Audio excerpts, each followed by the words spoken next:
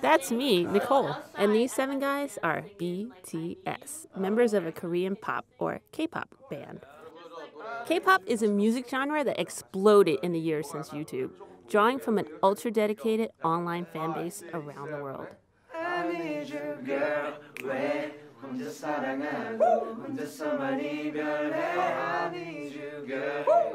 BTS may be one of the most famous K pop bands right now. I'm here because I'm curious about why this band, who sings and raps in Korean, intended for Korean audiences, sold out two shows in Newark, New Jersey. We're in America! Yeah. I love America! Turns out, a significant number of fans at the BTS show are black K pop fans. What's that about? I ask around.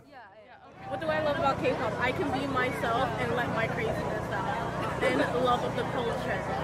I love the way it brings people together. People from every place around the world come together for one group with the language they don't even speak, but somehow music is universal and we all understand it. It's hard not to feel the nostalgia of 90s R&B and hip hop sounds. For black K-pop fans, that feeling is often bittersweet. If you could change one thing about K-pop, what would it be? About K-pop or the concert? Okay. Wait, if, wait, okay. If I could change one thing about K-pop, it would be the fact that they take a lot of things from black culture, but they never specifically credit it, or I never feel represented in K-pop. If I could change something in K-pop, it would be I would want there to be less controversies. Sometimes there are some cultural differences and that causes issues, race issues and stuff. Like for instance, there was a few cases where like a group dressed in like blackface or something like that. I felt uncomfortable. But that discomfort led to conversation. It didn't stop black K-pop fans from showing up at the BTS show. Every fan decides where they stand.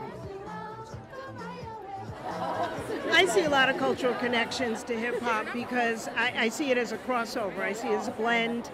Um, I know they've used a lot of our music. They've been influenced by a lot of our artists, and it's wonderful because it's bringing in internationally a lot of people. For these fans, K-pop can be a model for bringing cultures together. But what's at stake for BTS? Crossing over into American culture that has certain ideas about what rappers look like. Maybe K pop will get credit for that.